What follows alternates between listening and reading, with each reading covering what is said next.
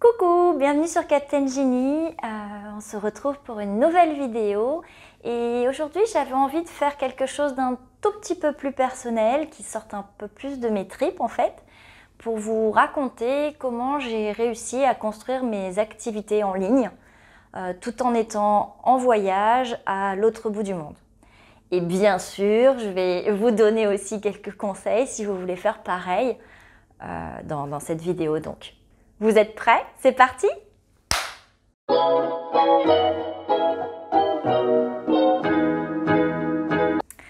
Alors bien sûr, avant de commencer, on n'oublie pas de liker la vidéo, de la partager sur tous vos plus beaux réseaux, de la partager aussi euh, à vos copains. On ne sait jamais si vous voulez en inspirer certains. Et puis bah, n'oubliez pas, vous pouvez aussi vous abonner à la vidéo. Allez, on y va. Donc, les nomades digitaux. Alors je sais, euh, tous ces nomades digitaux, vous nous voyez sirotant des noix de coco sur une plage à Bali, en Thaïlande, au Mexique, parfois même depuis l'Australie, avec les cheveux euh, salés par l'eau de mer, la peau euh, tannée par le soleil. Je sais que vous regardez aussi les stories Instagram, les vlogs sur YouTube, etc., etc. Et à chaque fois, vous vous dites mais qu'est-ce que j'aimerais bien avoir cette vie-là? Eh bien, la vérité, c'est que cette vie-là, elle n'est pas inaccessible et elle n'est pas à des milliers de kilomètres de votre propre vie. Et entre parenthèses, cette vie-là, c'est pas euh, que noix de coco, plage et soleil toute l'année, hein. Mais bon. Mais on revient quand même à notre plage. Parce que bon, en fait, on va appeler ça plage, mais ça pourrait être le doux chez vous avec votre famille, euh, ça pourrait être euh, votre van, ça pourrait être une toile de tente, ça pourrait être un appartement à Dubaï, ce que vous voulez. Quand je dis le mot plage, c'est simplement pour dire le lieu que vous choisissez, un lieu qui vous semble idyllique pour vivre votre vie. Et je peux vous garantir que le chemin depuis votre vie sédentaire, euh, dans un truc bien cubique, une pièce salariée, 9h-17h, euh, vers une vie où vous avez cette indépendance et cette liberté géographique, est à portée de main, en tout cas pour celui qui s'en donne les moyens. Et en ce qui me concerne, ça m'a pris à peine une année pour le faire. Alors il y en a c'est plus rapide, il y en a c'est plus long, ça dépend tout simplement de comment vous vous y mettez et comment vous procédez. Et comme il y a encore plein de place pour vos petites fesses sur cette belle plage, eh ben, je vais vous donner mes trucs et astuces, euh, mon petit truc secret. Non, je plaisante, c'est pas un truc secret. Non, je vais vraiment vous donner euh, les pistes que je considère essentielles pour, pour ça. Euh, parce qu'encore une fois, venez, venez avec nous sur la plage, c'est sympa, c'est très sympa. Donc je vous explique tout. Prenez votre paréo, installez-vous, détendez-vous et on y va. La première entreprise en ligne que j'ai eue, c'était une activité de... Enfin d'ailleurs, elle est toujours en activité. Hein. C'est une activité de web design, référencement, stratégie de web marketing. Uniquement pour les petites et moyennes entreprises et les commerces de proximité. En gros, c'est toutes les entreprises qui ont besoin d'un coup de pouce pour promouvoir leur bébé, enfin leur bébé qui est leur business, hein, sur Internet. J'ai créé cette boîte en 2015 quand j'étais en Australie et j'ai aimé chaque seconde depuis ce moment-là. Vraiment. Même quand c'était difficile. Et puis après, je suis partie en Amérique du Sud, encore. Et puis je suis retournée en Asie, encore. Euh, je fais l'argent, bien sûr. Je ne vais pas vous énumérer la totalité des pays pour faire une belle liste de euh, qui aura fait le plus de pays. Pas du tout. Euh, on n'en est pas là. Le but, c'est juste pour vous montrer que depuis 2015, j'ai quand même vachement bougé. Et en 2019, j'ai monté ma deuxième activité qui a pris euh, direct en seulement trois mois, ça fonctionnait, en proposant ce que je fais de mieux, en tout cas ce qui m'épanouit le plus, c'est-à-dire du coaching business pour accompagner les femmes à booster les ventes de leur business en ligne ou à créer un pivot d'une activité physique vers une activité en ligne.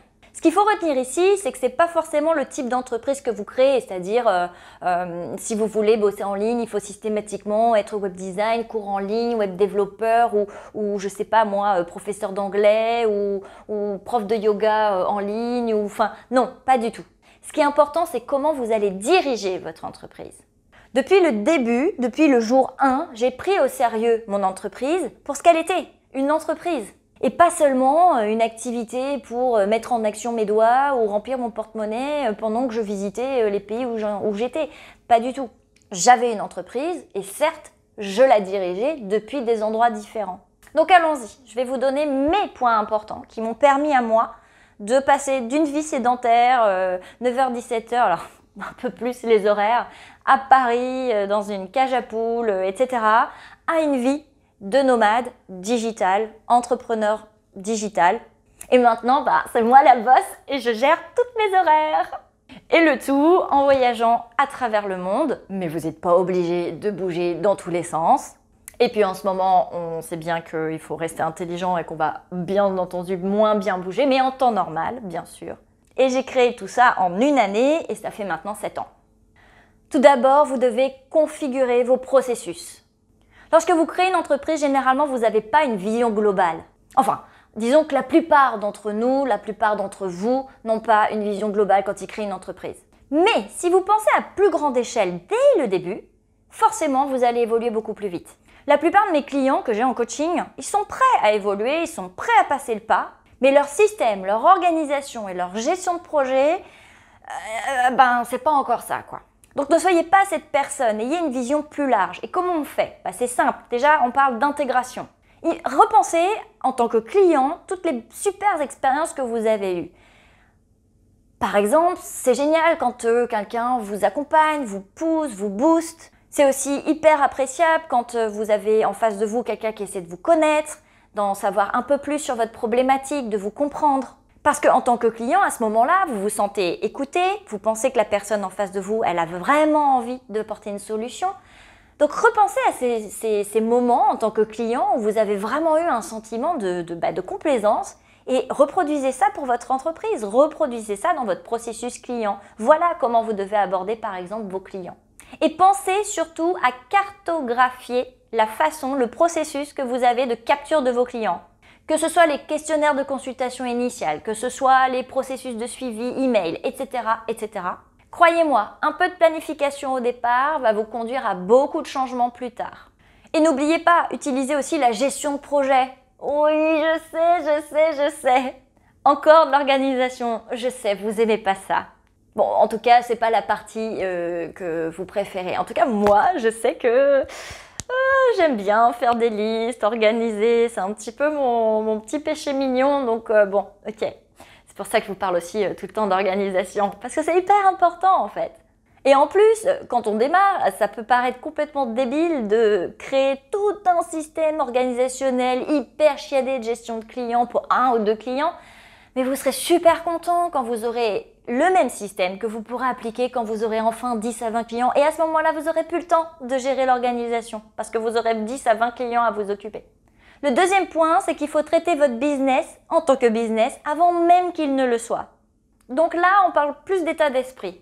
Il faut arrêter de considérer euh, votre euh, activité au tout début comme un projet à côté, une activité peut-être parallèle. Hein, euh, je fais ça juste pour payer mon hôtel et ma bière du soir, ou je suis freelance occasionnel, de temps en temps j'accepte des missions. Non Vous montez une activité, vous êtes le boss, considérez que vous l'êtes et surtout agissez en tant que tel. Ne vous dispersez pas. Parce que si vous traitez votre entreprise comme une activité secondaire, eh ben c'est ce qu'elle va rester, une activité secondaire.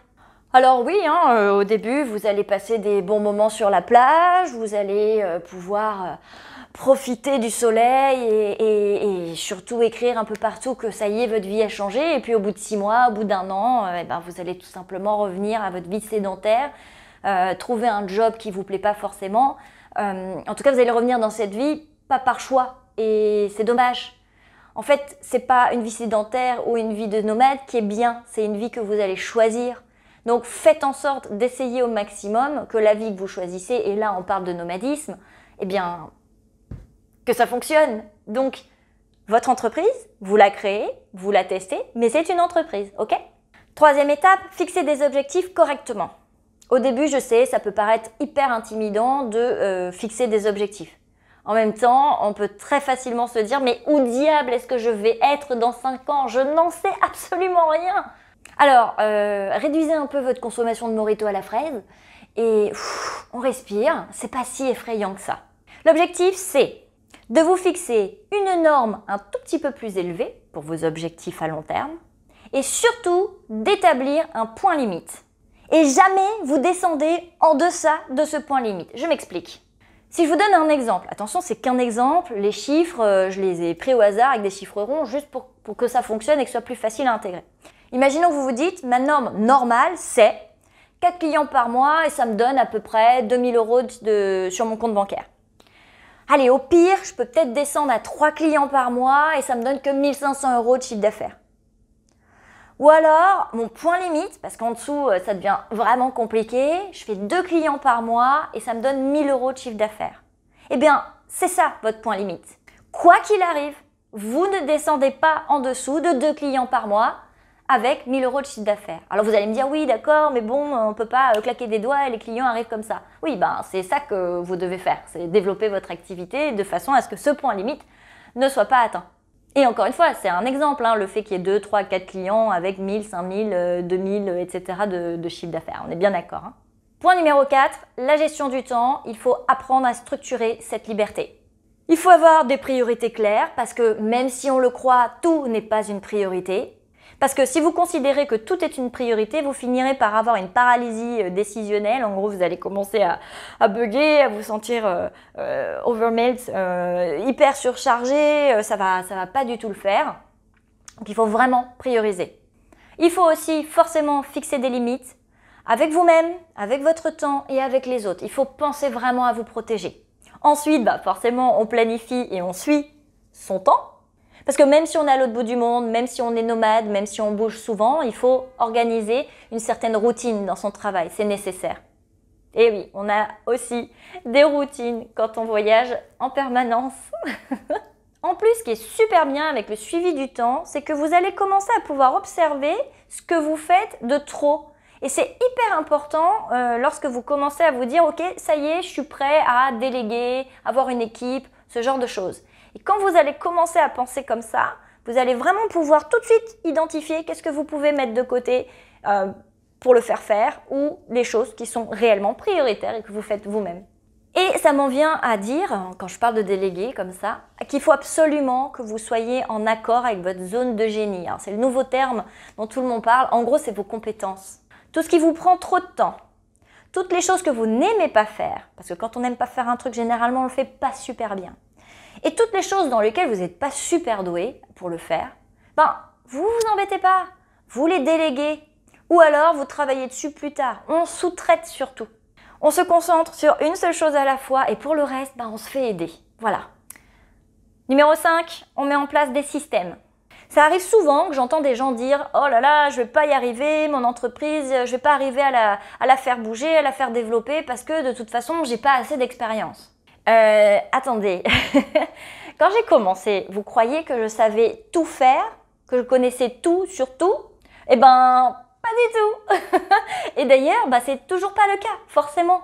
Par contre, j'ai pris des cours en ligne, je suis passée par des coachs, je fais de l'investissement là-dessus, j'ai fait euh, euh, des recherches sur Internet, j'ai regardé des vidéos YouTube, etc., etc.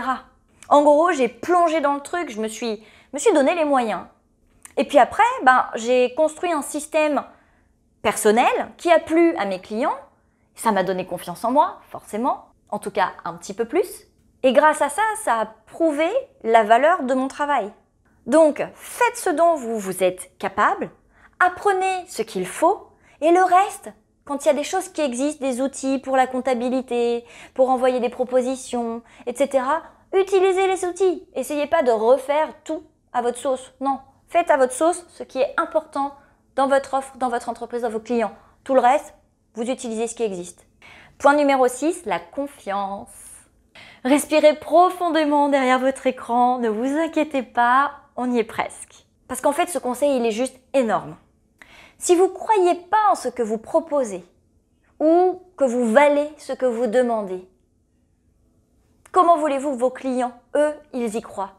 On le dit jamais assez, mais avant de demander aux autres de croire en vous, il faut d'abord que vous croyez en vous-même, en premier. Bon, ok, là d'un seul coup, on dirait que je suis un gourou avec des pantalons flottants. Non, c'est pas le cas. Mais vraiment, c'est hyper important. Alors, bien sûr, on ne parle pas de confiance complètement surdimensionnée, euh, avec un ego et des chevilles grandes comme ça. Mais ayez au moins confiance en ce que vous proposez. Vous avez travaillé dur, vous avez créé une offre, vous avez fait des choses, des systèmes, etc. Donc, ce que vous proposez, ça a de la valeur. Donc, croyez au moins en ça. Point numéro 7, les médias sociaux. Ouh, on est au 21e siècle Oui, en plus, euh, en ce moment, j'ai vu que sur Netflix, il y a un super reportage pour vous montrer que les médias sociaux, c'est pas bien. Euh, oui, enfin bon, c'est pas d'aujourd'hui qu'on sait qu'il y a quand même euh, la face cachée, la face noire des médias sociaux. Mais bon, réellement, on est au 21e siècle. Et le mot Wi-Fi, ça veut pas dire Internet à distance, ça veut dire vous pouvez tout déchirer de là où vous voulez. C'est super quand même. Et franchement, euh, à moins d'être au milieu du désert ou sur le pôle, euh, j'ai pas rencontré énormément de lieux où Internet, où il n'y a pas de Wi-Fi. Bon, ok, c'est pas toujours 100% parfait, mais franchement, au pire, j'ai dû parfois attendre 10 minutes la réponse des serveurs, etc. Donc là, oui, ça fait long, mais il y a tout Wi-Fi partout. Donc, Wi-Fi, idéal, mobilité à 200%. Donc, les réseaux sociaux, on les utilise pour son personal branding, sa marque personnelle. On travaille là-dessus. Prenez juste votre smartphone, ça suffit, pas besoin d'avoir un téléphone, euh, un téléphone, un appareil photo, euh, dernier cri, hyper cher, pas du tout. Votre téléphone, votre smartphone, ça suffit au début pour démarrer. Ensuite, vous déterminez votre propre style, vous copiez pas un truc qui ne vous correspond pas, vous prenez votre propre style et vous cultivez votre image de marque. Au début, bah, ça va peut-être être difficile, peut-être que vous n'êtes pas la personne la plus tendance, peut-être que comme moi, vous n'êtes pas toujours super à l'aise derrière la caméra, donc vous savez pas forcément faire plein de blagues, en tout cas moi j'y rigole, c'est déjà le principal, mais voilà, c'est pas toujours drôle pour tout le monde, mais c'est pas grave, restez vous-même. Ça y est, on l'a fait, en utilisant tous ces conseils, je sais que vous allez pouvoir créer l'entreprise qui vous convient depuis votre plus belle plage. Voilà, en bikini, sur votre plus belle plage ou en pyjama dans votre canapé. C'est vous qui voyez. Bon, attention, hein, il va quand même euh, falloir bosser, hein, bien sûr. Hein. on n'oublie pas, on travaille quand même. Et en guise de petit bonus pour ceux qui sont restés jusqu'à la fin, parce que je sais que cette vidéo, eh ben, elle est pas très courte, Allez dans la description et inscrivez-vous pour un appel stratégique gratuit. Oh, c'est gratuit Et comme ça, on pourra aller voir ensemble euh, ce qu'on pourra euh, faire pour vous, vous en êtes, soit où vous en êtes dans vos entreprises, soit dans vos projets d'entreprise, les axes d'amélioration, les axes de création.